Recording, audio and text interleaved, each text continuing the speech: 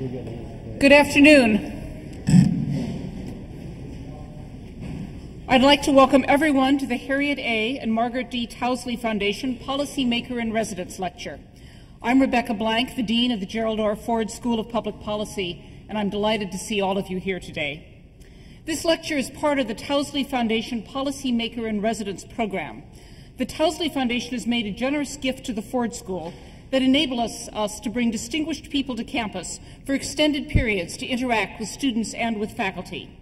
In supporting this program, the Foundation recognized that visitors would provide an important enrichment of our curriculum and encourage learning and dialogue among students, faculty, and members of the larger community interested in public policy issues. The opportunity adds immensely to the education that our students receive. It helps us fulfill our mission of interacting with the world of policy and practice beyond just the classroom. With us today from the Towsley Foundation are Rani and John Reeker, Dell Dunbar, Judy Dow Rumelhart, and her husband Don, and I'm going to ask them to just identify themselves like all good students. They're sitting in the back row. But we thank you for this.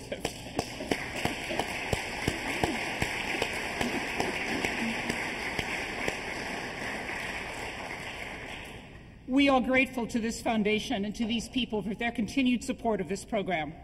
I also want to recognize the UM Office of Vice President for Research, which is co-sponsoring the event with us today, and Fawaz Ulaby, the Vice President for Research, is sitting right over there, and I also want to thank them for their help with this lecture. Thank you, Fawaz.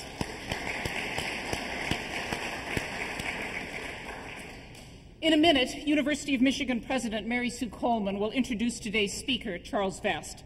But first, I want to take a second to thank Chuck for coming back to the University of Michigan and to the Ford School as the Towsley visitor. His presence at the Ford School is very highly valued. As part of the Towsley program, Chuck is not just giving this lecture, he's also teaching a mini course on the effects of 9-11 on science policy, and I understand that there was standing room only in the classroom today. It's, it's clearly a popular course. Chuck's presence here reflects our own work to establish a new graduate certificate curriculum in science, technology, and public policy at the Ford School. Working closely with other UM schools and colleges, our science policy program will provide a context in which students from engineering and the sciences will be able to more closely understand the ways in which their fields interact with public policy. And conversely, the curriculum is intended to give graduate students in the social sciences and in the policy school the opportunity to have a stronger grasp of the relevance of science and technology to their work. And if there are students in the audience who are interested in this program, I urge you to find me afterwards. Mary Sue Coleman, as well as former UM President Jim Duderstadt, have both been incredibly supportive of both the Towsley Policymaker in Residence program as well as this new science policy certificate that is being opened. And I am, I am honored to introduce the University of Michigan's President, Mary Sue Coleman, who will come to the podium to introduce Chuck Vest. Mary Sue.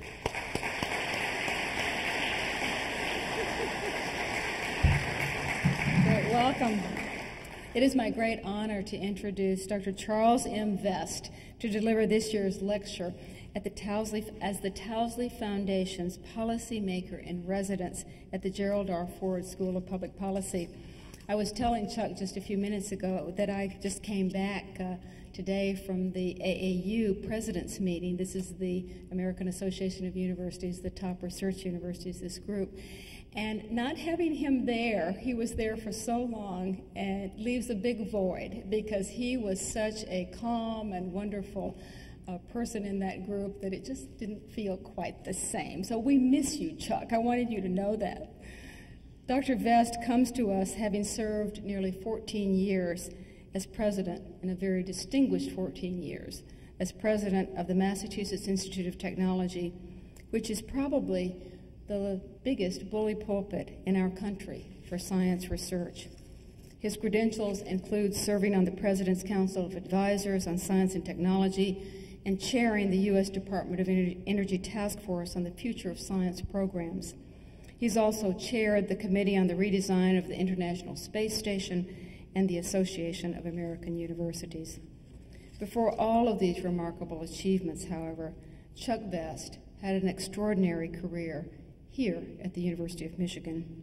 He served as provost, as the dean of the College of Engineering, and as professor of mechanical engineering. And he is an alumnus, having earned his master's and doctoral degrees here. We are tremendously proud that the rest of the country has benefited from the leadership skills he developed here at Michigan.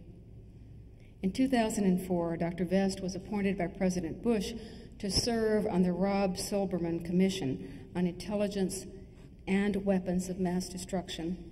That body explored whether the United States has the proper intelligence capabilities to deal with the threat of weapons of mass destruction.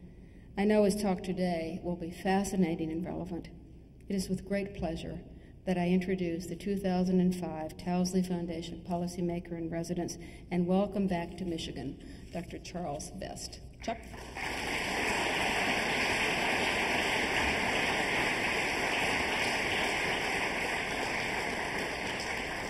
Thank you very much, Mary Sue, and uh, thank you, Becky. And really, I want to congratulate Becky Blank for her leadership and Mary Sue and so many others for their support. I think establishing the Ford School of Public Policy so solidly on the national scene, beginning to move it into science and technology policy, is really a very important thing for this university to do. Becky and I are just delighted to be back in Ann Arbor and to see so many close friends, including many of you here in the audience today. I hope I won't embarrass you too badly. But I do want to begin by very much thanking the Towsley family and foundation for making this possible. But I do have to tell you that I'm a fraud. I'm the public policy maker in residence. I've never made public policy in my life. I've told other people what their policies ought to be, but they rarely listen to me. But nonetheless, I thank you for this opportunity.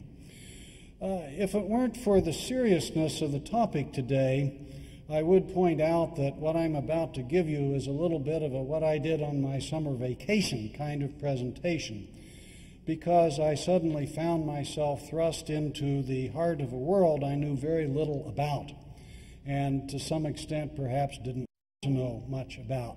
But it was one of these rare calls to public service that comes to us from time to time, and I was very grateful for the opportunity and hope that I did add uh, a little bit of value to the Commission's work. And if in fact there was some value, I think I will be able to tell you what it was. What I would like to do today, uh, because this is a very complex topic, is sort of begin at the end I'm going to talk a little bit about how the commission was formed, how we did our work, what we did with our report, how it was rolled out, what the response has been, and then I will return to the actual work of the commission, which, as you will see, had two components looking back, looking back at our intelligence activities, in particular in Iraq and Libya and other things, uh, looking at them sort of as case studies finding what worked well, what went wrong, what are the lessons from this. And while that's the exciting part and the part that gets in the newspapers and so forth and so on, the really hard work of the Commission and what we spent most of our time on was looking forward. How do you take those lessons and uh, give some guidance to the intelligence community on what they need to be and how they need to operate in the 21st century? Well, as such things begin, uh, this began for me with a phone call in my office one day from Andy Card, the President's Chief of Staff, who basically sort of said, Have I got a deal for you? And uh, I told him that I would really appreciate a week or so to think about this. I was still in office, I was still very busy, and I wasn't sure I could devote the appropriate uh, uh effort to it. And he said, That's fine, take the week and here's my cell phone number. Well, I figure when the president's chief of staff gives you his cell phone number, this is a pretty serious deal. So I walked down the hall, paced up and down a little bit, and in 15 minutes called him back with the realization that this is something I had to do. Now, let me begin with a preamble. Here are some lessons, some things I personally concluded from my work on this commission. First of all, an immense appreciation for the covert work that the U.S. intelligence community has done on behalf of all of us to counter terrorism. One of the things that made this work very painful is to produce a highly critical report about a very dedicated group who have actually done some extraordinary things to keep this nation safe. I want to say that up front. Secondly, despite working for over a year with every level of security clearance imaginable and having some engagement, as you will see, with the terrorist issues as well as, uh, as the more classical WMD issues, nothing changed my personal view and my commitment to the importance of maintaining the openness of U.S. campuses to foreign students, foreign scholars, foreign faculty members. That openness is still key to our future, and I learned nothing in this world that caused me to change that attitude. I walked away with the same greatest fear I went in. The worst thing we can possibly imagine is a nuclear device in the hands of a terrorist. I came back with heightened concern about bioterrorism. We won't be able to talk a lot about that today, but I worry more about it than I did before this commission. I came out with a sense of futility and the stupidity of this culture that has grown up over the last decade or two of purposeful leaking of classified information by people within the intelligence community, by people within the Congress, and so forth and so on for very narrow purposes. It's done enormous damage. The highest profile uh, example of many of you may be aware of a couple of years ago when a few years ago when a member of the US Congress walked out on public te- on television and made the statement that he had learned that we were listening in to Osama bin Laden's cell phone. Guess who never used a cell phone after that? This causes enormous damage. Uh, also, I came away with a clear belief that, as fixated as we are and properly are on terrorism, we should not forget about state actors, that is, countries as well. And finally, and if there was any value I and my uh, colleague Rick Levin had to add to this, it was that there are amazing parallels between universities together at this day and age as we are trying to do more and more interdisciplinary work and the issues facing the intelligence community. It maps one to one. And I happened to be talking a little bit after our report came out to Bob Gates, who was the longtime head of the CIA, now the president of Texas A&M University, and I made that statement to him, and he said, "You know, I say that in every speech I get I give to alumni, and they all laugh at me. They think it's a joke, but the fact is, it is the same business we're in." Now, let's get down to our business today. Uh, this commission was established as an independent commission uh, by executive order of the president. It had to do with two things looking back and looking forward. Learning back, we were to examine the intelligence capabilities and challenges regarding weapons of mass destruction, related means of delivery, and quoting other related threats of the 21st century, a rather wide mandate. We were to look particularly at Iraq to compare everything we could find out about pre war intelligence, what we knew, what we thought we knew, how we uh, gathered that information, and then compare that one to one with the findings of the Iraq Survey Group. This is the group that David Kay led into Iraq after the in- invasion to try to find the weapons of mass destruction. And you know what he found, which is basically nothing. So when I refer to the ISG, that's what that is. We also were to look at Libya and at Afghanistan and compare intelligence, again, there with what we know now. But most important is not just to look back, point fingers of blame, and so forth. The real issue is we were to derive specific recommendations regarding the authorization, organization, equipping, training, and resources for the intelligence community couple of quotes directly from the executive order, which are of enormous importance. Began, the Commission shall have full and complete access to information relevant to its mission. Unlike things like the Senate Select Committee on Intelligence's look at Iraq, uh, there was no bickering about what was available or not available to us.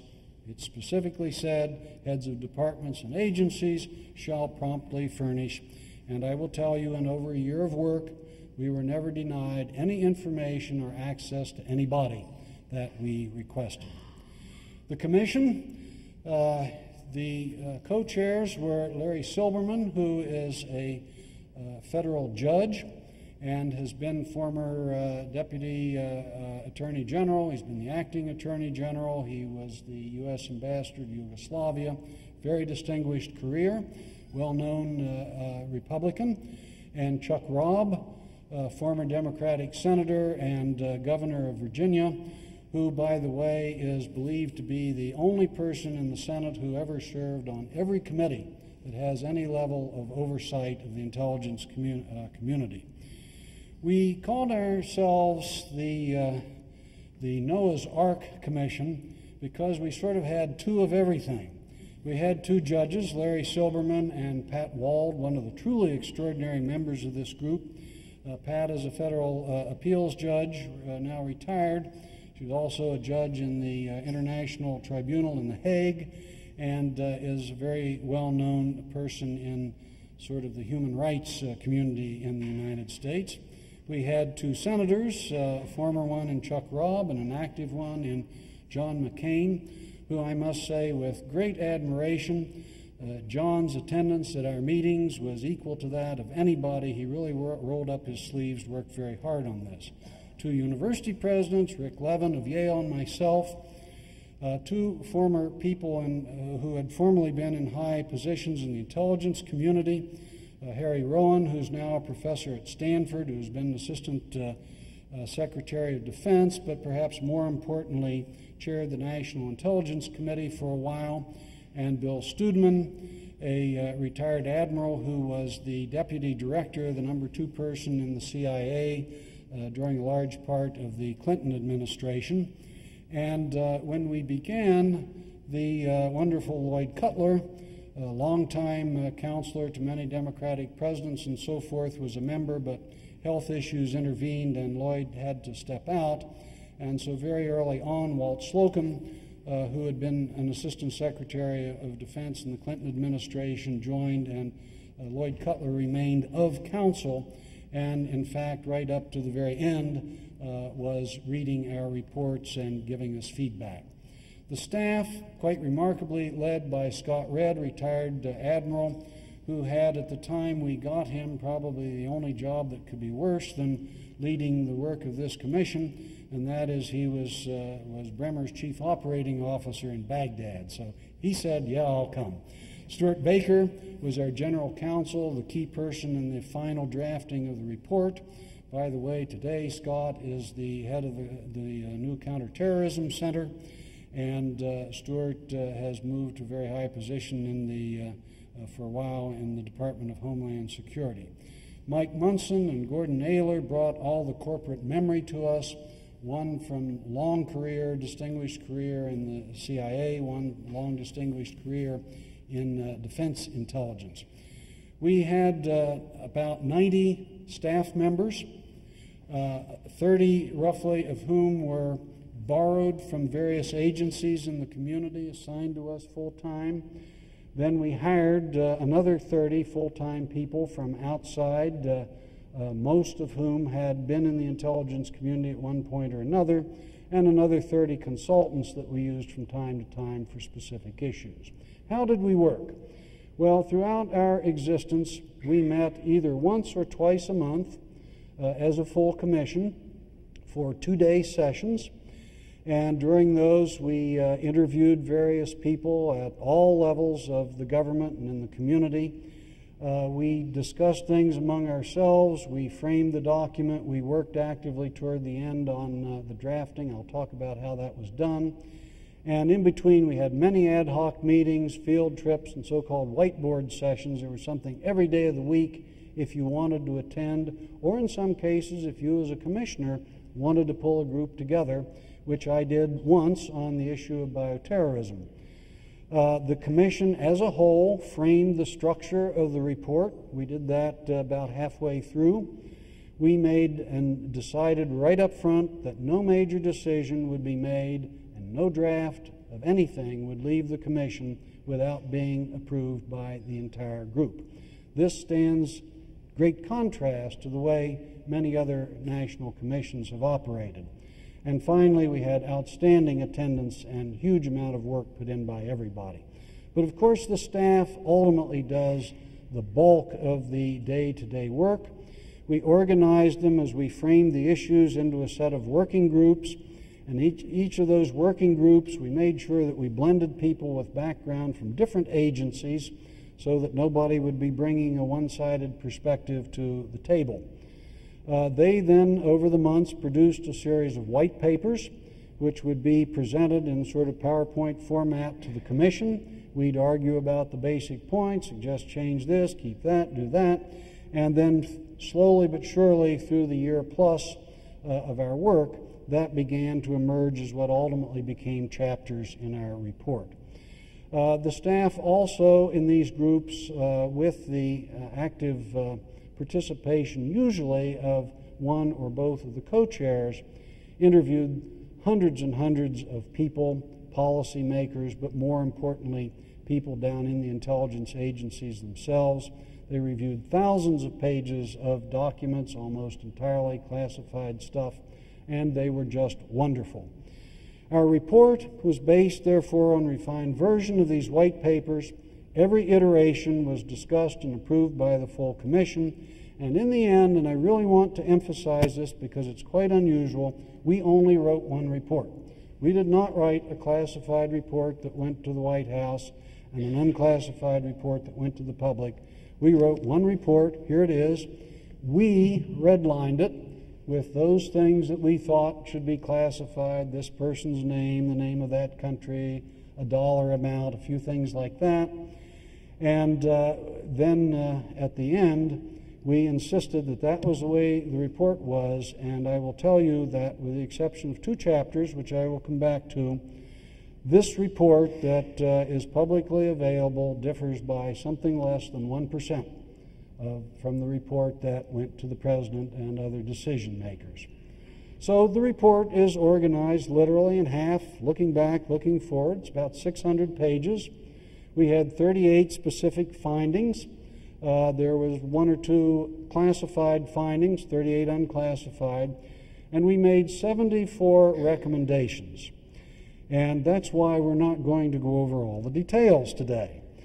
There are only minor differences, as I said, between the classified and unclassified printings, just a few specific things. But two chapters we simply did not include in the unclassified version. One has to do with Iran and North Korea, the other has to do with covert actions. And you can understand that we just concluded there's no way that we can produce a meaningful public version of these two uh, chapters. But other than that, what you see here is pretty much what the president had. Now, we had a cover letter to the president. I want to give you a couple of sentences, four sentences from it. One, right at the beginning, we conclude that the intelligence community was dead wrong in all of its pre war judgments about Iraq's weapons of mass destruction. What the intelligence professionals told you about Saddam Hussein's programs was what they believed. They were simply wrong. Now, when we had the press conference, the first question for, uh, for uh, Judge Silberman and, and uh, Senator Robb, first question from the press was, We've read a lot of Federal Commission reports before. We've never seen one that uses language like this. Why is it written this way?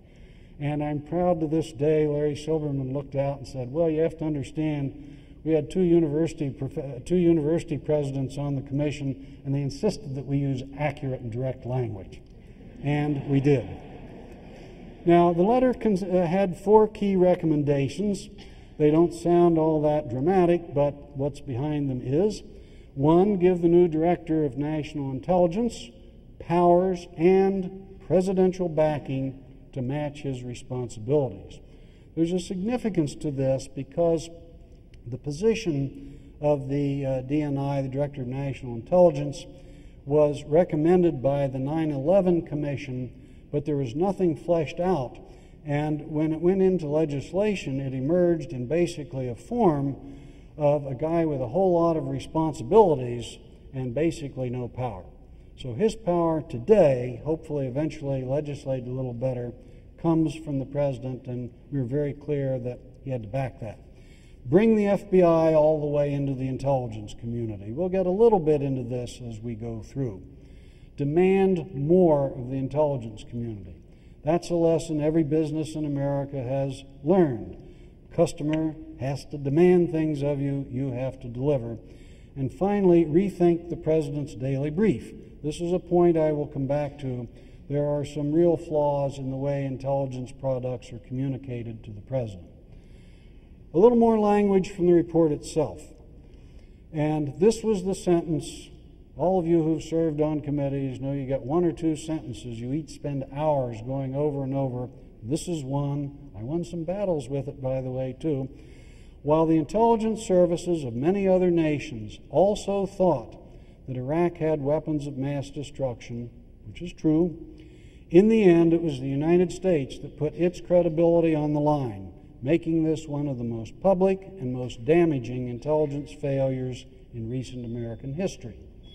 We also said at another point, and this is key, the intelligence community did not make or change any analytical judgments in response to political pressure to reach a particular conclusion. But the pervasive conventional wisdom that Saddam retained WMD affected the analytical process. If I had to summarize what we learned about Iraq, this is it. A lot of people didn't want to hear it, but this is what we believe.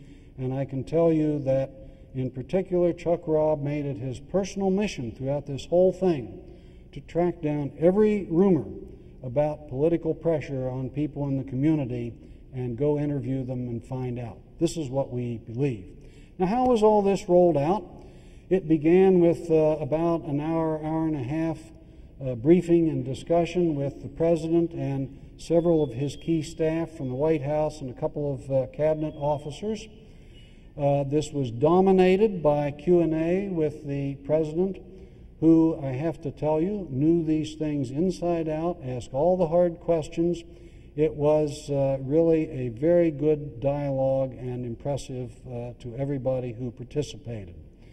Uh, immediately after that, the president held a uh, ca- uh, cabinet meeting with most of the cabinet, those uh, who uh, run related parts of the government, and then there was a press conference. Now, this is what you call a tough news day, and I don't mean to be too humorous about this, but Terri Schiavo died about two hours before our press conference, and we had the Pope in Rome and all these kinds of things and we're trying to make a point about intelligence. Nonetheless, it was a very lively, uh, ran about two hours with all the Q&A back and forth with the press, all handled by the, uh, by the co-chairs.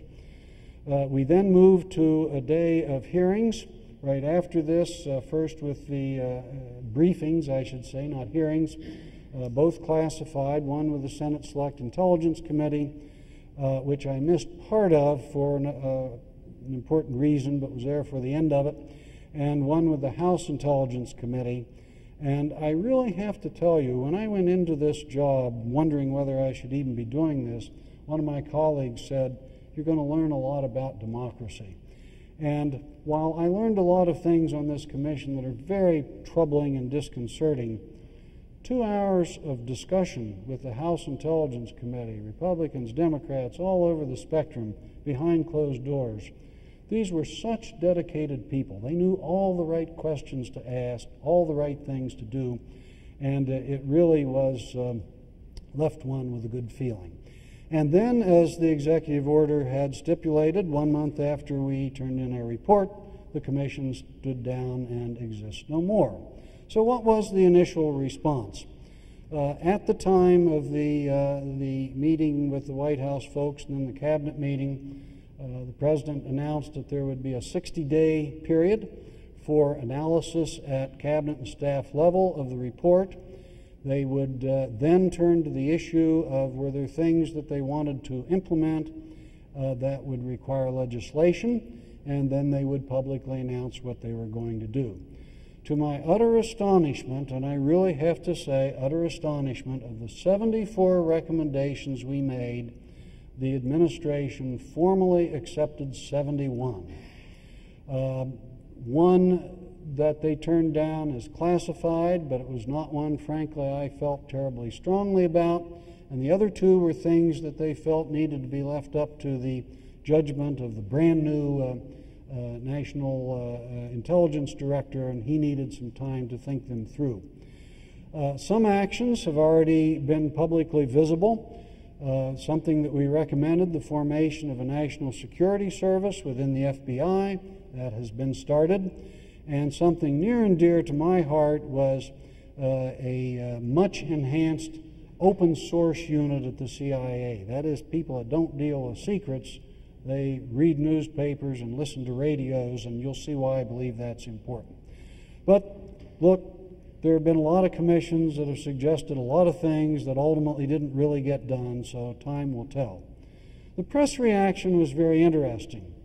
New York Times, which gave us two columns on the front page and two entire pages on the inside, had a front page headline Bush panel finds big flaws remain in U.S. spy efforts, and began with a sentence in a scorching assessment of chronic dysfunction inside American intelligence agencies, etc then you opened and looked at the editorial page. Lead editorial was titled A Profile in Timidity. So on the front page, we were scorching, scorching assessors. On the editorial page, we were timid. And it went on to say nothing there about the central issue, how the Bush administration handled the intelligence reports. This was typical we got very positive journalistic coverage, very positive response inside the government and by both friends and critics of the community. And editorials were almost uniform in their complaint that we should not have done the job we were asked to do, which is assess our intelligence capabilities and how to make them better, but we should have moved off of that and decided what we believed was right or wrong about how the administration used that information. We did not do that. I do not believe that we should have done it. I'm sure that around the table we had nine different views of this, but we did the job we were asked to do to the best of our ability. So let's turn to the core here intelligence and weapons of mass destruction. First of all, intelligence is a unbelievably difficult business. And there again, it gives one sort of ulcers being so critical in hindsight. This is tough work. You cannot imagine, because after all, you are trying to find out what other people simply don't want you to know. Certainty in intelligence is so rare it virtually never occurs. We also have to understand that. And I will come back at the very end of this certainty issue in terms of how we communicate about intelligence products. As I said earlier, this work is done on our behalf by a very highly dedicated community. I never ran across anybody or anything I learned that led me to think anything other than it is totally dominated by people who work very hard, patriotic, doing what they believe should be done. And of course, as an engineer, I have to observe they have some absolutely astounding technology most of which orbits around the Earth. Now, I've used this phrase over and over intelligence community. We all know the CIA, Central Intelligence Agency, uh, that has existed since 1947. Uh, it is the only independent intelligence agency. There are, in fact, 15 separate intelligence agencies in the United States government Department of State, Justice, Homeland Security, Energy, and Treasury and the Coast Guard all have an intelligence unit. The Defense uh, Department of Defense at the Secretary's level has the DIA, the Defense Intelligence Agency. CIA and DIA are the two big ones. But there's the National Security Agency, the National Geospatial Agency, National Reconnaissance Office, and then Army, Navy, Air Force, and Marines each have their own intelligence service. And part of the issue is making these things work together and quite frankly, respecting some of the things that are culturally different about each one. Here again, very much like a university. Intelligence has three basic components collection, analysis, dissemination. How do you get information?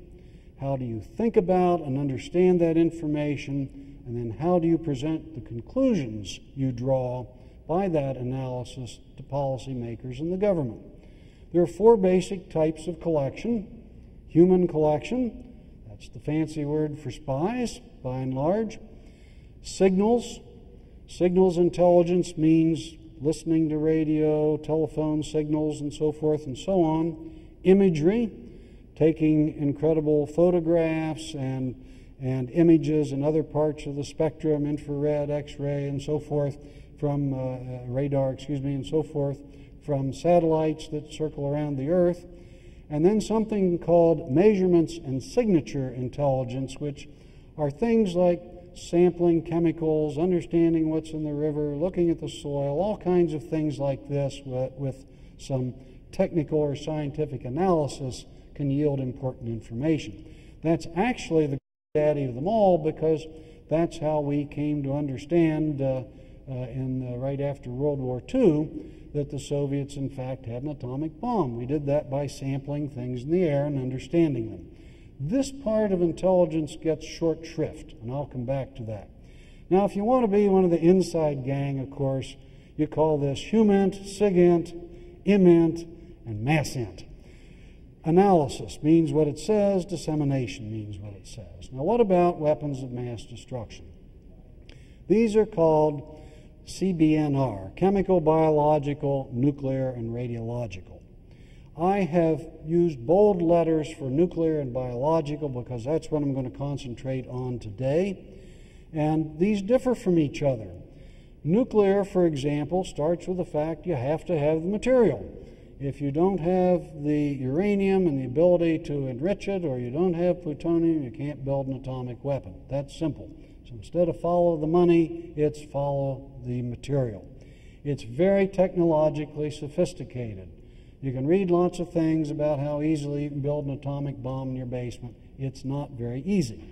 It can be done by people other than major nations, but it isn't easy. So it's very sophisticated biological weaponry that we're just trying to understand in its modern uh, incarnation is moderately sophisticated technology. There are thousands of people around the world who would know how to do these things, uh, certainly at a terrorist scale. And the scary part is it's what is called a dual use technology. If you're country X and you want to manufacture biological weapons, you can set up some perfectly legitimate facilities, a pharmaceutical company here, a brewery there, and by careful design and planning, in a matter of time, few days, you can pull all that together and make it manufacture a biological weapon. And that's part of what makes this area so difficult to deal with. Chemical, fairly very elementary technology, again, dual use, can be rapidly integrated, that is, pulled together.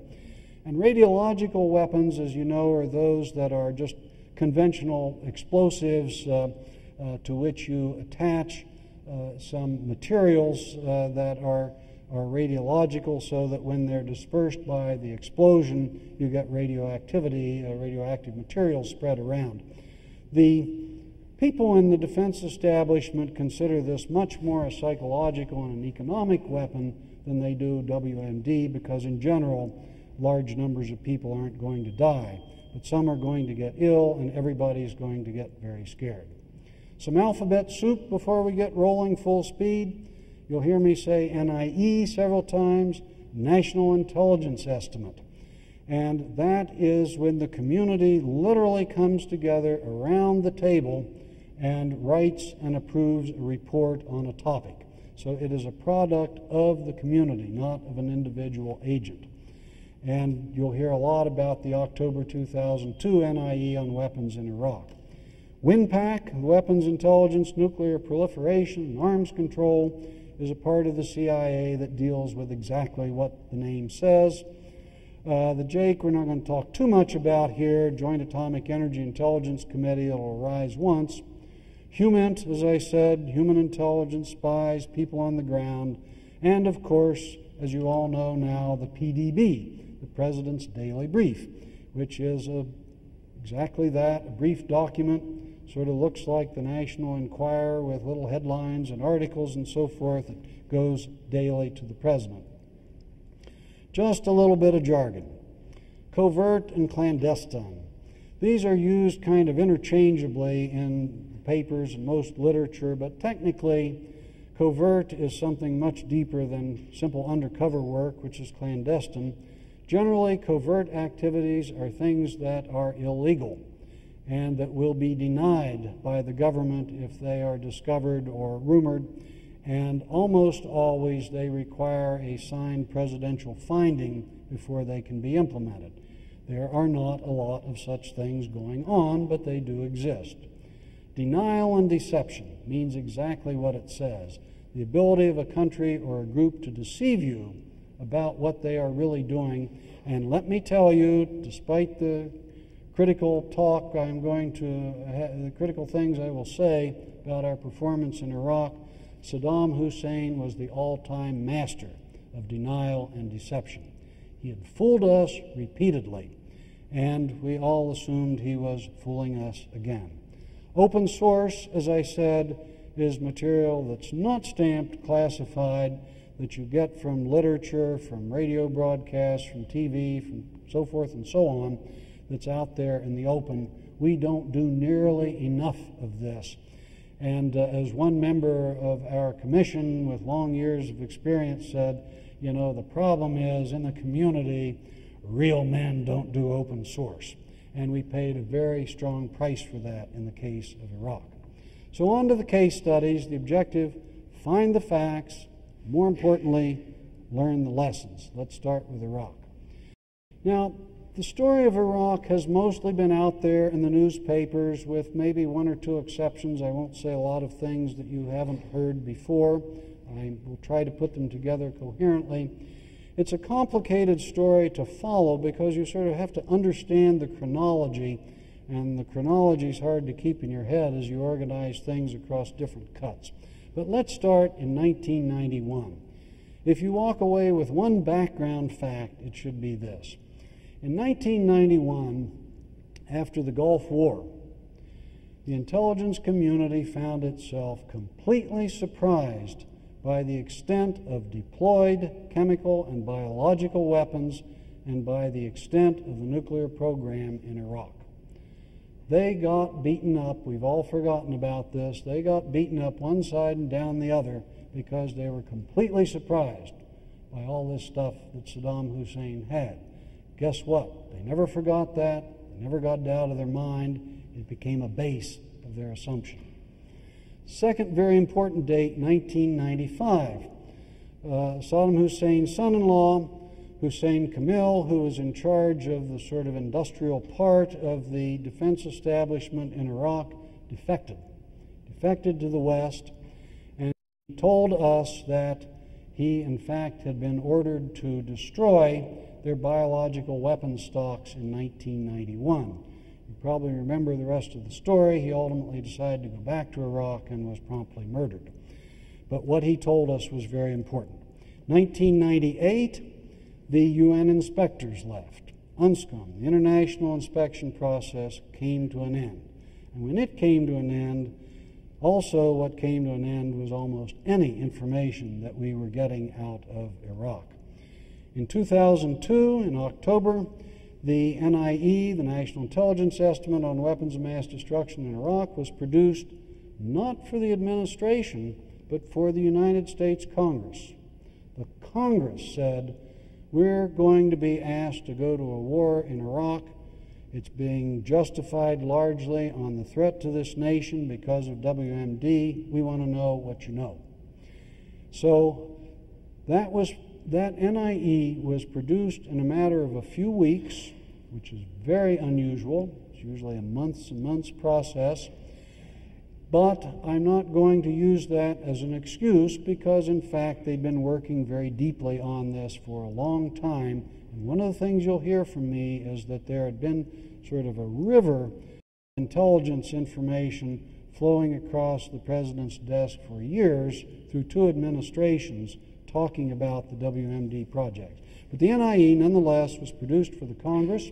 We saw a statistic of how many people in the Congress said that they actually read it. I wouldn't want to tell you the number, you'd be ashamed. And then 2003, after we invaded, David Kay and the Iraq Survey Group returned to this country, or, or Kay returned to this country and said flat out, we found no significant biological or chemical weaponry or any significant nuclear program in Iraq. Let's look at Iraq's nuclear program and their biological uh, program. What were we observing? First of all, in 1994, and what I want you to watch here is the kind of accelerating language, and then we'll come back to what that was based on. 94, the uh, Jakes made a, an internal report that said Iraq still seems to be pursuing its nuclear program. In 98, there was an intelligence community assessment that said human intelligence is limited but Iraq seems to be continuing a low level theoretical research. We have an incomplete picture. In 99, we have no specific evidence of reconstitution of the nuclear program, but they noted the opportunity because now the inspectors are gone, so Hussein can get back uh, more easily to what he was doing before. In 2001, the uh, community obtained some intercepted aluminum tubes that had been shipped to Iraq. This, as I will explain, and as you will probably remember, is an absolutely critical moment. Why aluminum tubes? Well, if you're going to enrich uranium to uh, make it a weapons grade material, you have to go through a very complicated process that, among other things, involves forming a gas, spinning that gas inside very high speed centrifuge rotors, literally hundreds or thousands of these rotors, in order to enrich the uranium. So you need some high strength tubes. Iraq has had procured a large number of tubes made of an aluminum alloy that Dave Philbeck can tell you all about, 7075 T6, of a carefully specified particular diameter, wall thickness, and very tight dimensional tolerance. Now, each of the agencies, or several of the agencies, began to assess these. The CIA said these are most likely used for gas centrifuges, that is, it's part of a nuclear program. But they did identify some other possible applications. Here's what we're talking about. This is a, an image from Secretary Powell's UN speech. So we're talking about these tubes. The Department of Energy, who, by the way, are the people you would expect to know the most about this, said, quote, these tubes are not well suited for centrifuge application. They could be used, but these are not well suited for centrifuge application. We think they're more likely used for NASR 81 millimeter uh, multiple rocket launchers, a conventional weapon. So you go to the conventional weapons experts in the community, which is the Army National Ground Intelligence Center, and their experts, our experts on conventional weapons systems, assist the tubes to be, quote, poor choices for rockets, although they could not totally rule out the possibility. Remember that. Could not totally rule out the possibility. So then finally, what did the important critical document say? The October 2002 NIE concluded Iraq has, quote, reconstituted its nuclear weapons program and, if left unchecked, would probably have a nuclear weapon during this decade. They said we have compelling evidence. But they stated that this was a conclusion that they drew with moderate confidence. That's, by the way, not real low on the scale, moderate confidence. Now, the State Department's um, uh, Intelligence Bureau dissented from this judgment. Out of the 15, they were the only one that wrote a dissent. We disagree. Uh, we don't believe this nuclear program has been reconstituted. Both INR, the State Department, and DOE, however, dissented from the specific judgment on the aluminum tubes. And again, in my view, the people who should have known the most about this. They went on to cite additional evidence, of course. There was procurement of uh, quite a few dual use items, magnets, high speed balancing machines, uh, machine tools, things that could be used for a nuclear program, but not necessarily. They said that they had one, one human intelligence report that uh, Iraq had reassembled some of the scientists and engineers who were known to have been in the program earlier. And through our satellites, we saw some activities that seemed a little higher than before the inspectors left at suspect sites. They noted that Iraq was vigorously trying to procure uranium ore and yellowcake from Africa. You all know that sentence. You know that Judy Miller just got out of 85 days in prison over how uh, some things that, that followed this. But I do want to tell you, it's very interesting. By the way, you can get on the web and read the unclassified version of this NIE anytime you want. It's very interesting. This was not a big deal in the report. I want to say that flat out. It was one sentence back on page 38 of the chapter or something like that. It was not a major part of their judgment. So that's what had been thought, that's what had been concluded. So, what did the ISG find when they went into Iraq? They found, concluded that Iraq had not tried to reconstitute a capability to produce nuclear weapons after 1991, and that work on uranium enrichment, including gas centrifuges, the things that might use aluminum tools, the tubes, had effectively ended in 1991. Now, we now know a lot more, and I just, to put this in context, let me tell you a few other things. First of all, this material, 7075 T6 aluminum, is used by 14 different countries in rockets, including with exact same dimensions Iraq. Remember that reference to the, uh, uh, to the missile from the, D, uh, from the uh, DOE. Second, the documents about uranium acquisition from Niger clearly forged. One of the great mysteries I walked away with is the UK, and the British still stand by their statement that this was a serious attempt to. Uh, we don't understand why they're saying that. Getting a little bit into depth here, the CIA had very ineptly handled their physical testing of these tubes. They'd hired a contractor to do it. The contractor's equipment didn't work properly, it was never quite done right, and that was actually should have been much handled much better than it was. The other streams of intelligence, that is, other than aluminum tubes, about the program were very thin. They were either flawed or of limited value. But most important of all, and that's why I put this in red, most analysts and agencies simply viewed the evidence, even technical evidence, through the lens of prior assumptions. He used to have them. He's a bad man. He's an expert at denial and deception. We really can't conclude that he isn't actively working on these things. Now, if you want to actually wade through part of a 600 page report, there is a part of it that reads like a James Bond novel, and believe me, it's the only part. And that's the story, and the broad outline of this is probably known to you of what we thought we knew about Iraq's BW, biological weapons program.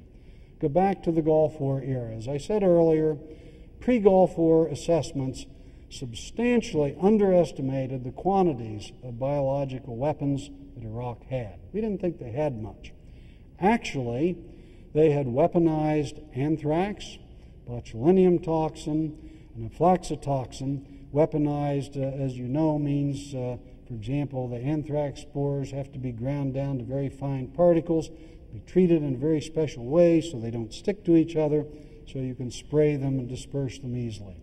They had 30,000 plus liters of active BW agents they had 157 bombs and 25 missiles armed with biological weapons uh, agents dispersed all around the country. Uh, this was finally declared in 1995 following a really tough confrontation by UNSCOM. Now, when you read our press, you used to think these UN guys were pushovers. They were pretty tough actors over there, and they finally got to a lot of the truth. This is what we're talking about. These are some of the uh, BW loaded uh, bombs that Iraq uh, had at the time of the Gulf War. These are the sites that were actively involved in constructing them prior to 91. In the late 90s, let's watch the language again. The assessments were that Iraq could have biological weapons, that is, before the Gulf War. In 99, the CIA judged that Iraq could quickly restart its BW program. Later in 99, there was an NIE about biological weaponry worldwide, And among other things, it said Iraq is revitalizing its BW program, probably working to develop and produce agents. And then in 2000, there, I'm sorry, in 2000 was the community wide assessment. They said, listen to this language credible reporting from a single source suggests production of biological weapons, but we cannot confirm whether Iraq has produced biological weapons. Then we forward a couple years to the 2002 October NIE. Here were their conclusions. All key aspects of Iraq's offensive BW program are active, and that most elements are larger and more advanced than before the Gulf War, and they gave this high confidence. They also said, and these are words that many people uh, uh, are terribly sorry about today, Iraq has now established large scale, redundant, and concealed BW agent production capabilities based on mobile BW facilities. In Secretary Powell's speech to the UN at the eve of the war, we know that Iraq has at least seven of these mobile biological laboratories. This is a graphic that he used, uh, sort of schematic drawings of what these things are. So, what did the ISG find? They found BW stocks and facilities that in 91 Saddam Hussein had instructed Hussein Kamil to unilaterally destroy their stocks of biological weapons, that Iraq appears to have destroyed its undeclared stock of BW. I'll come back to why this says undeclared in a moment. But they said they retained a physical plant at Al Hakam for possible future resuscitation of the BW program. And in 1995, UNSCOM confronted them with some evidence about this facility and so forth, and they supervised its destruction. Uh, also, the ISG found that no evidence that Iraq possessed or was developing mobile BW production exists. That the trailers cannot be part of any BW program. Now, some explanations looking back. After Desert Storm, Iraq declared to the UN part of its ballistic missiles and chemical weapons program. It did not at that time declare its BW or nuclear programs. UN inspectors were very thorough and intrusive, and Saddam decided to prevent discovery of his pre 1991 programs, and that was the point at which he told uh, uh, Hussein Kamil to destroy large numbers of the undeclared weapons and materials in July of 1991. So when you get asked the question, what happened to this stuff, either it didn't exist or most of it was destroyed in July of 1991 by the Iraqis. In fairness, it is crystal clear that very few people in Iraq knew about this. One of the things we had missed, quite frankly, is how badly that society had degenerated, that Saddam Hussein and his two sons were kind of sitting in a corner running everything, and there was very little knowledge, uh, even among their commanders, about what they did and didn't have. In fact, as you've undoubtedly read in the newspaper, most of their commanders at the time of the war uh, all thought the other guy had them. They thought they had a lot of, uh, of um, weapons of mass destruction. So, where did all this intelligence about biological weapons come from? It came from human intelligence sources. We had three of them one codenamed Curveball, one codenamed the Asylum, or I will call the Asylum Seeker, somebody who came to the West, and one called the INC Source, somebody that was handed to us by the uh, Iraq National Congress, the Ahmed uh, Chalabi organization. Those latter two each gave us one report. The asylum seeker, one report in 2001. Long after the war, 2003, he recanted that. And the INC source gave us one report, and again, a little too late, but in, in I'm sorry, in, in May 2002, was judged to be a fabricator. Curveball gave us 100 reports. So, what is this curveball business? Clearly, he was virtually the only source of intelligence about the supposed BW program. He was a defector. He left Iraq. He went to another country, not to the United States.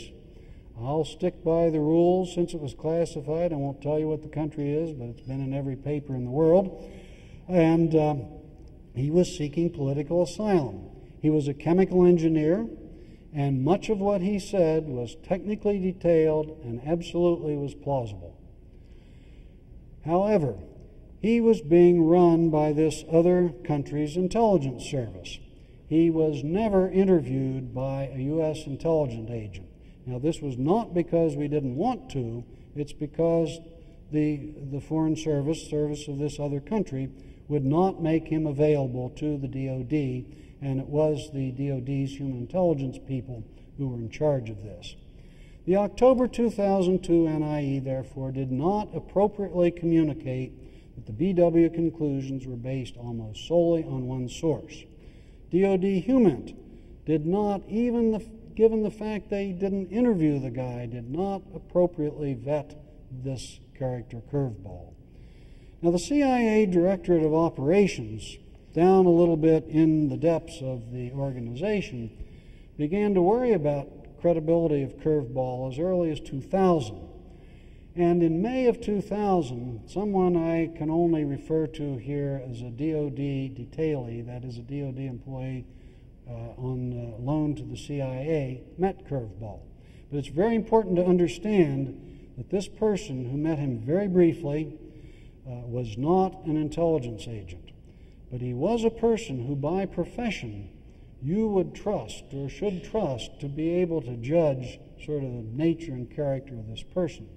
And two of the many things he reported back from this five minutes or so he spent in Curveball's presence were one, that he spoke English well. Well, that was kind of interesting because one of the reasons our colleagues in this other service had given us for not wanting us to talk to him was that he doesn't speak English. Much more importantly, this person reported back the guy had a horrible hangover. I would judge that he's probably an alcoholic and he has a very unstable personality. In 2001, the Foreign Service, and we'll come back to why they were talking to us, reported curveballs out of control. Half the time they didn't know where he was, he was displaying bizarre behavior. Now, in the fall of 2002, now we're coming right up the run up, the NIE, we're getting close to the uh, speech to the UN and so forth. A representative of this foreign service told a division chief in the CIA, he said to her, You don't want to see this guy because he's crazy. Now, she had gone because she was one of the people worrying about this, although her job was not a weapons job. She was part of the division that was in charge of liaison with this foreign country, and she had gone to make yet another appeal to get access to him. On the very eve of Secretary Powell's UN speech, and I mean in the one, two, three day period up to it, a major argument broke out about curveball's reliability between this CIA division chief and the BW expert in WinPAC, the person who's supposed to be in charge of these kinds of things. And while, in a sort of bureaucratic sense, WinPAC won the argument, uh, the division chief saw to it that some communication of concern about Curveball's credibility started moving up the chain at the CIA. The doubts about Curveball never made it to Colin Powell. And there are big arguments uh, about why this did not make it all the way up. We have a little bit of a he said, he said, she said kind of situation. Uh, this was the one tough thing the, the commission did. Uh, we really went after a couple of these people in the way that a prosecutor would do. We threatened them with various things. At the end of the day, we concluded that two people pretty high up in the CIA have slightly different memories of exactly what happened, and we think they actually have slightly different uh, memories that no one is lying about this, but unfortunately, no matter what the reason is, the information never made it to where it should have gone, even though it was the 11th hour at that point. So, in summary about curveball, poor tradecraft, especially poor asset validation, basics, lack of interagency cooperation. I didn't get into this very much, but The DIA and the CIA were not talking, they were talking past each other, they weren't sharing information properly, they were scornful of each other. There's inattention to warning signs inconsistent with assumptions. They must have these weapons, so this is Iraqi denial and deception. And lack of proper communication to policymakers. So, in summary on Iraq, poor standards tradecraft, what I call eyes wide shut, that is, seeing everything through your assumptions, lack of objectivity and skepticism with data, aluminum tubes, poor listening, not paying attention to the guy who actually knew something because he wasn't part of the anointed spy game, poor collaboration and information sharing, little political or social understanding. If we had longer, I would really emphasize that. We just didn't pay enough attention to what broadly was going on in Iraq. Having said all this, we do not believe there was politicization of the process. In terms of intelligence reporting, you've heard about the NIE, uh, uh, October NIE in 2002, but as I said earlier, there'd been a flow of intelligence and sort of scary headlines in the PDBs and so forth, accelerating verbs and adjectives for several years. And finally, we're very critical of the nature of the communication in PDBs, period. Very quickly, Libya. This is largely a success story. Let's begin in December 2003. Libya announced an unprecedented disarmament, halting work and destroying stockpiles of chemical weapons uh, and, uh, I'm sorry, and uh, also chemical and nuclear materials and infrastructure. Their nuclear program, this was a US UK initiative. We had rather accurately assessed their nuclear equipment. We knew what they had we underestimated, uh, I'm sorry, we overestimated somewhat the progress they'd made. Amazingly, our intelligence had succeeded in penetrating this horrible A.Q. Khan network. That was really the key to this. And they identified, uh, identified and seized a ship carrying centrifuge technology to Libya. No guesswork about tubes this time, know exactly what was going there. Uh, and Libya's nuclear materials, equipment, and documents today are in Oak Ridge, Tennessee, because of this good work. Chemical weapons, we correctly judged that they had chemical weapons agents and CW aerial bombs. We overestimated how many they had. BW, we assessed that Libya maintained the desire for an offensive BW program and some R&D. This still remains somewhat unconfirmed. It's not a, a firm conclusion, but the community thinks it, it understands. The missile program, we seem to have been generally accurate. There's still some details that we don't know. But on the whole, they did a good job. Why? First of all, the community and the way they went about this operation was very innovative. They were very innovative. And using George Tenet's phrase, they displayed operational daring. This was the community at its best.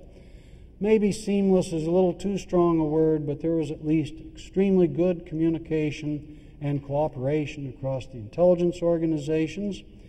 And how I wish I could talk about this, there was some really clever use of very fundamental technology to draw key conclusion about the nuclear program. That and the penetration of the A.Q. Khan network were the two things that gave us what we really needed to know. And if you track through the details, as our staff did, the analysts in fact revised and reassessed their judgments against their own assumptions going in in response to new data. Now that I've spent almost all of my time talking about the looking backward, let me spend a few minutes to talk about what we really spent most of our commission time on, which is recommendations going forward and some broad observations. First of all, universities, corporations, and the intelligence community. As I told you, there are a huge number of analogies, very direct, between the intelligence community and a university and how they operate. There are a bunch of agencies, think of them as departments, with very driven, dedicated, smart people. They each have their own culture. They're proud of what they do. They think they know how to do it. And all of a sudden, they have to do interdisciplinary work together. That's what they're going through. Unlike every corporation in the United States, They have not gone through the revolution of internal use uh, of information technology and modern management theory to cause themselves to work efficiently and effectively to get to the endpoint they are seeking. Data sharing and integration, you heard all about from the 9 11 Commission.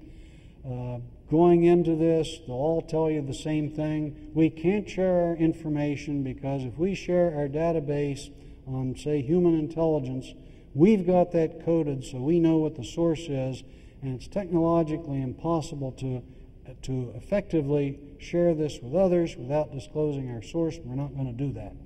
Well, technically, that's just wrong. We do know how to do this. We're starting to do it. Uh, and uh, we've had some very bad starts in trying to do this. The FBI spent 25 or 30 million dollars on a system to accomplish this and then threw it out the door because it didn't work. But there are plenty of people out there in the real world of business who know how to do this, and we got to get serious. Analysts and collectors. Here again, it's culture. It's just like a university. I won't say what the analysis, what the analogy is, but the fact is collectors. You want to be a collector. You want to be James Bond. You want to be a spy. That's what counts. Give me something stamped secret. Send me overseas. The analysts, who are the real people we depend on, the intellectuals who study all this, think about it, try to put it together and figure it all out. In several of the agencies, and especially the FBI, are distinctly second or third level players. It is just wrong. And not only that, the analysts and collectors need to work together because it will sound familiar to all of you who know the history of corporate America and what we went through back in the 80s and early 90s. The collectors basically, I'm only slightly exaggerating, they go out and collect whatever they can and they throw it over the proverbial transom and say, analysts, make some sense out of this. You need a feedback loop. You need the analysts to be advising the collectors what would really be important and so forth. Something anybody in any organization understands. Current trumps strategic. A lot of the mistakes we make are because the day to day demands for immediate answers to specific questions shove aside the time to think and plan and look out in the future and think strategically. We had at least a partial fix for that we have suggested. And finally, and I have to tell you, if I had to make just one recommendation, it's this. You've got to hire 21st century workforce for the intelligence agency. Being only slightly facetious, slightly, you can't go into the 21st century with a whole community that's made up of blonde haired, blue eyed Yale PhDs and expect to drop them into a place like Afghanistan or uh, elsewhere and have them blend in with the crowd. We've got to hire a diverse workforce for very pragmatic reasons. And one of the biggest things that has to get fixed, and please don't ask me in detail how to fix it, is the security system itself that basically cuts off from the community all these wonderful, patriotic, second and third generation immigrants from different parts of the world who are very loyal U.S. citizens who can speak languages and understand cultures and so forth, they're almost excluded. Now, I have to say the community is beginning to work on ways uh, around this, but if they don't succeed, we can't expect to have any better human intelligence in the future. So, new balances have to be struck both organizationally and budgetarily. We, by the way, made no budget recommendations. We did not feel we had the time or expertise to go to that level. But um, uh, Mr. Negroponte and his colleagues have to look at four balances. What's the right balance of resources between collection and analysis? We have to have more spies on the ground, and we have to have better and more deeply involved analysts. Human intelligence versus technology. Probably, I don't know, I'm going to guess 85% or more of the budget in the intelligence community goes into what I call big technology the birds flying around in the sky and so forth. Whereas, if you remember what I alluded to in uh, terms of Libya, small technology, this stuff that's called MASINT, is really important and it gets short shrift. We need more of it and perhaps less the big technology. The experts have to decide. And finally, my big passion in all this we have to have much more expanded open source work. I support this for two reasons. One, there's a whole lot to learn out there about context and culture and what's really going on that we can much more effectively learn just from open sources. And secondly, this is the way to get information technology in modern form into the work of the community. They hire these bright young men and women to sit down as analysts, and the first thing they do is they look around and say, hey, you know, how do I get on the web and where are my tools? They're not there. They're like industry 20 years ago. All because of the construct that they put together in a very bureaucratic uh, fashion for protecting information. It's protecting it so well we can't get out there and learn the things we need to do. And that's easier to do. It's not entirely devoid of security problems, but it's easier to do with the open source intelligence. And that's the second reason I think this is very important. The broad nature of our recommendations, and I know this sounds a little bit fuzzy, they're actually very specific, but three things are kind of describe it. One is the intelligence community is a community in name only. It has to be brought together to build a real community that works, acts, and thinks together. But how you do that, from what I learned, is very important. Because right after 9 11, there was a push, and in fact, we almost had legislation, thank goodness we didn't, that said, well, the way you solve that is obvious. You just create one big massive agency. And it's just like Mary Sue gets up tomorrow and announces, folks, I've given up on all these department schools and colleges. We're just going to have a university. We're all going to be in the same organization. There is real value in the fact that the culture of the State Department is to think about these issues in one way, and the CIA another, and the DIA a third, and I have to really force myself, but maybe I'll say in the FBI as well. But there is value in those multiple cultures, just like there is value in having a biology department and a physics department that have great depth in their discipline, but increasingly have to work and talk to each other. And finally, simply getting serious. One of the real reasons for having a lot of trepidation that the commissioners uh, had, the nine of us going into all this, is that just about every two years since 1947, there has been a federal commission or committee or study on how to fix the intelligence community. And while we were waiting for security clearances and secure facilities and all that to get started, we were given the uh, unclassified summaries of all of these reports since 1947. And I have to tell you, uh, three quarters of what they all say is the same, including ours. We've got some new things, including ours. And somehow they get read, they get shelved. We are hopeful that because of the seriousness of what happened to this nation over Iraq, what happened at 9 11, the appointment of uh, the new uh, uh NDI, the National Intelligence Director, and so forth, we are hopeful that this time around, when the President says, we accept uh, all but four of these recommendations, that he means it and it actually happens.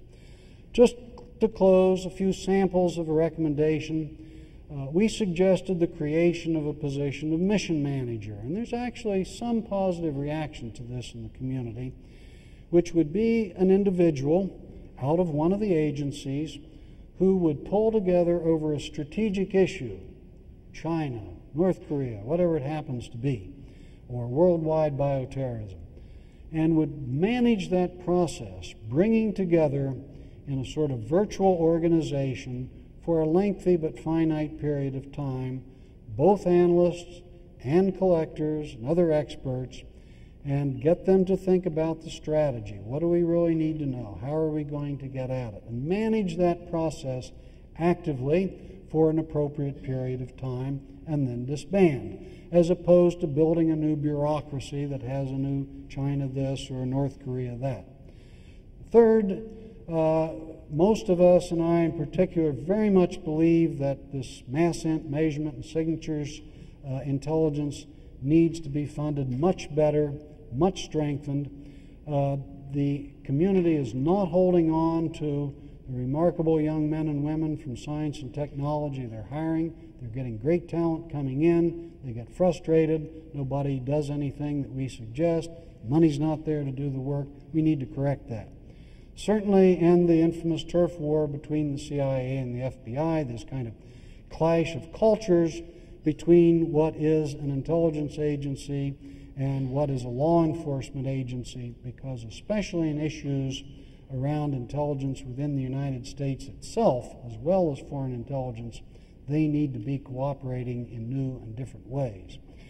The President's daily brief and communications, I'm not going to spend a lot of time with this, but I will tell you if the CEO of any company in the United States got information in the way that the President gets information on these critically important issues, he'd kick his managers out the door. And we have a lot of reasons, you know, why we should do this, including maybe even doing away with the PDB itself. Because what happens, um, as I say, this is almost a newspaper format. And what is the goal of every, particularly every young person in the intelligence community? Get his or her article into the PDB and get the headline on there that'll catch attention. And it does not serve us well there is no quantitative way or even attempt at a quantitative way of clearly displaying the basis of the intelligence and the, the um, uh, extent to which the community is confident in it. And, and this comes from our interview with Secretary Powell and many others. It's just kind of common sense. Intelligence reports to policymakers should go back to fundamentals they should always indicate these four things what we know and how we know it, what we do not know, what we think, and why we think it. If that discipline of simply reporting these important issues in this manner was adhered to, we would go a long way, as you can tell by looking back at the Iraq experience. In closing, my experience on this commission was, I believe, an opportunity to serve the nation and hopefully the world as well. Believe me, it was an education. It was at once deeply disturbing, but also to some extent reassuring, and I hope against hope that it was somewhat effective. So, in closing, if the White House ever calls you, don't answer the phone. Unless you're prepared to work hard, want to learn new things, don't mind losing a lot of sleep, and believe that service can be effective at least some of the time. Thank you very much.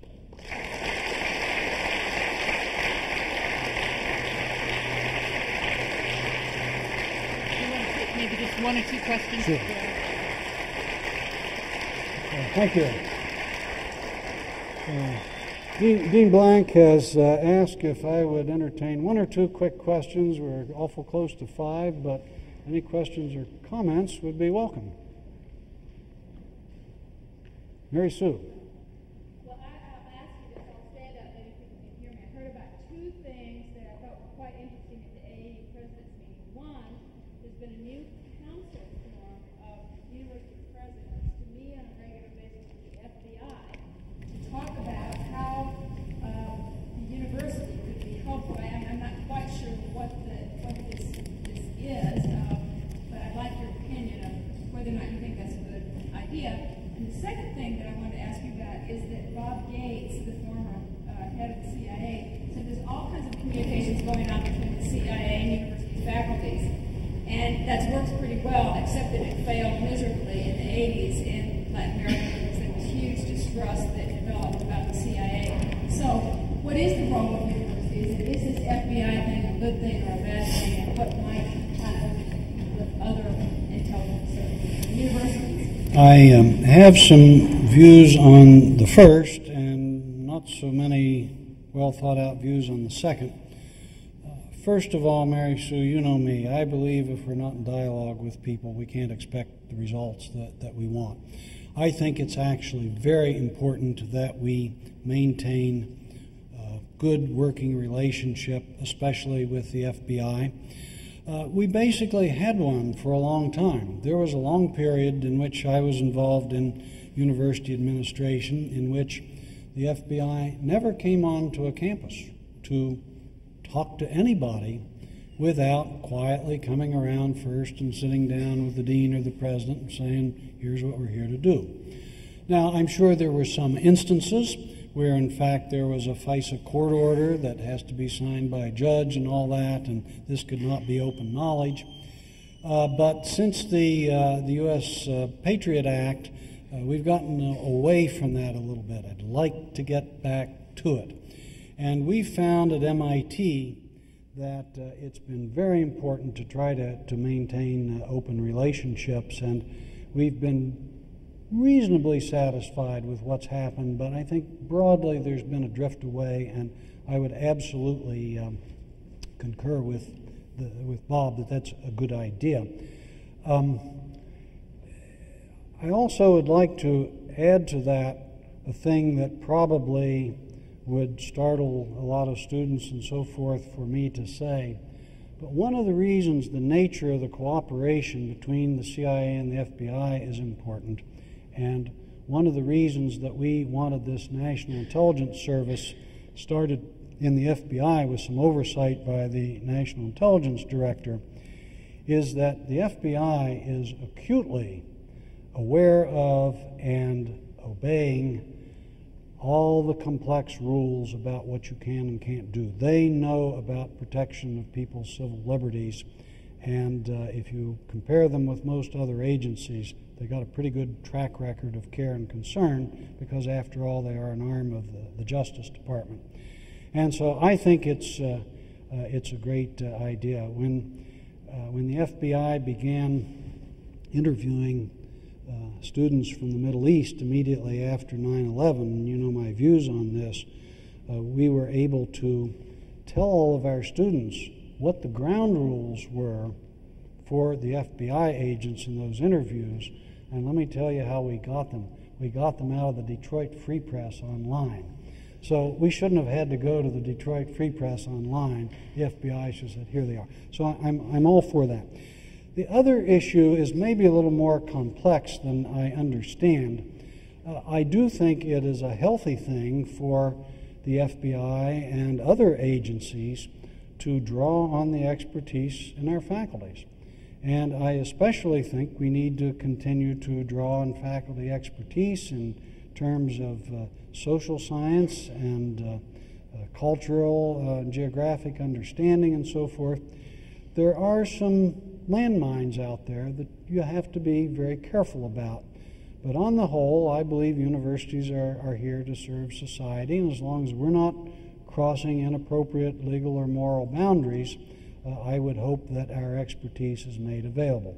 We've had some experiences, I'm sure you've had some experiences. Uh, we had the uh, uh FBI asked to uh, interview a faculty member who had taught a laboratory and a course in which a person they were, for legitimate reasons, looking for uh, with regard to terrorism. Somebody had been at the university years ago. They wanted to interview that person about the course and whether what was being taught could be used to, uh, to make weapons and so forth. And we actually sat down and negotiated with them, and uh, the faculty member agreed to talk to him, but we had ground rules, one of which was not asking the faculty member to make a judgment whether what she had learned could be used to make a weapon. And, you know, when we put these things down, common sense fashion, they agreed to them and, and went along with them. Yes? Um, I'm Soumya Rangarajan, and I actually had interned with CBRN issues at DIA over the summer. And uh, just to let you know, I'm a first generation immigrant, so I think they're probably succeeding pretty well in getting some new people in the intelligence community. But my question is, um, having worked there, I saw on the ground level like the problems that, in terms of the hierarchy. You know, I mean, it's really hard to place the blame, and the media really tries to place the blame at some level of the hierarchy um, within the intelligence community. And do you think that it's the like it's the actual low-level analysts that are failing, or do you think it's something like the middle-level people are basically sycophants to the executive branch, and you know, basically there's there's yes men that agree to anything that uh, would uh, that the executive branch would want them to say. And do you think having the DNI will either improve this, or do you think it'll just become another bureaucratic hurdle? um, and then the second quick question is: Are you going to be offering your mini course in the winter term? Not that I know of. The second one. Uh, let me try this, and you could probably give a better answer yourself. I think many of the concerns that we uncovered uh, actually permeate the organizations top to bottom. And please remember that the 60 of the 90 staff people we had were people who themselves worked or had worked at all kinds of levels in the agencies. So we had some real truth tests, and believe me, they weren't reticent to tell us when they thought we were off base. So most of our understanding and analysis of this is coming from people who actually had experience top to bottom in the community. And Scott Redd very carefully put the staff together to have that character. Um, I do not believe on this issue we had any kind of dominance of yes men at the top. There are a couple things I'm very deeply concerned about, but I wouldn't have signed a report and a letter to the president that said, We believe the community told you what they believed if I wasn't convinced uh, of that. Um, there are other issues on which I think a similar commission might come to some other conclusions. I think there are some other issues the community's had where there's been some uh, semi overt uh, pressure, and they may have responded to that. But this business, you know, what you're describing is true of every large organization. And part of what the community's got to do is, frankly, learn what some of our better, more uh, uh, effective, and efficient businesses have learned about how to deal with this because you could have said the same thing about IBM and this company and that company. And while they're not perfect, they've learned a lot about how to get, uh, get beyond this, and, and I hope uh, someday they will. Chuck, thank you very thank you. much for an absolutely wonderful and very interesting lecture. Thank you all for coming. Thank the Towsley Foundation.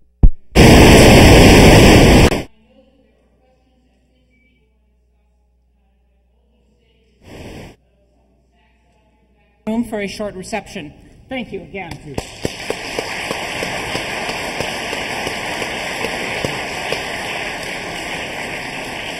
I feel